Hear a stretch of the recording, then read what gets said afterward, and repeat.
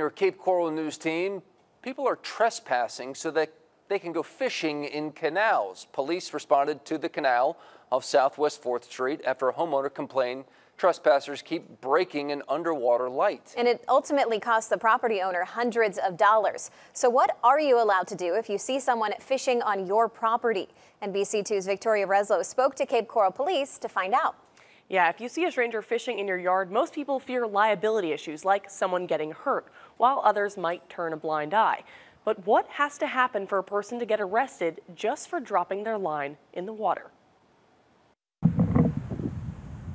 Cape Coral is a maze of canals. Miles and miles of canals. Leaving lots of room for you to cast your line out in the water. And I would never want to stop somebody from fishing for dinner or recreation teenagers that are, you know, trying to do something um, rather than get in trouble. Marion Briggs owns some of the vacant land next to the canal off Southwest 4th Street.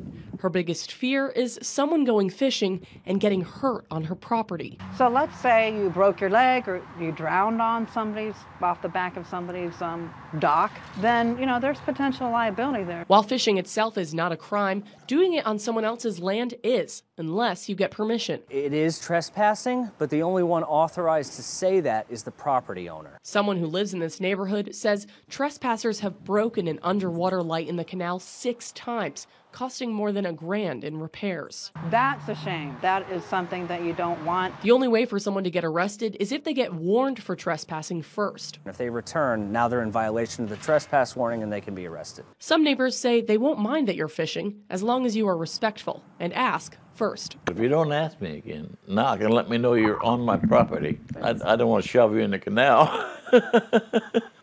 Now, if you think someone is trespassing on your property or want to know more about a standing trespassing order, Cape Coral Police encourages you to give them a call with any questions. In studio tonight, Victoria Reslow, NBC2.